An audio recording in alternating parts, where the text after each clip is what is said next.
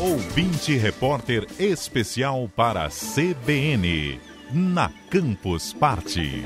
Olá, estou direto da quinta edição da Campus Party. Esta é a minha primeira vez na festa e estarei analisando a área de robótica.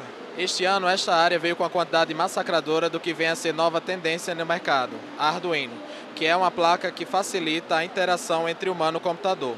Esta tecnologia integrou a Campus Party através de minicursos de variados níveis para os campuseiros, inserindo novas tecnologias como Scratch for Arduino e reaproveitando materiais.